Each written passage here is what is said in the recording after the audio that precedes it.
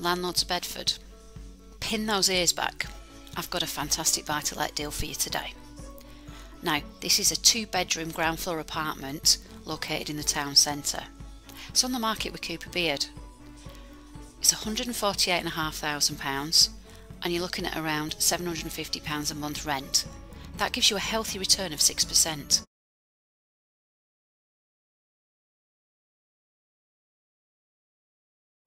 Now what I like about this property is not only is it close to the town centre and the railway station, as it's on the ground floor you also get a little bit of outside space which is very rare with flats at the moment and in these current times it's probably very very important. Now the building is Olivier Court and we already know having managed some properties down there that it's very well maintained. If I were you I'd be getting in touch with Cooper Beard as a matter of urgency as this one won't be on the market for long and we do know that we successfully rent them with very little effort. So if you want to know more get in touch, numbers at the bottom.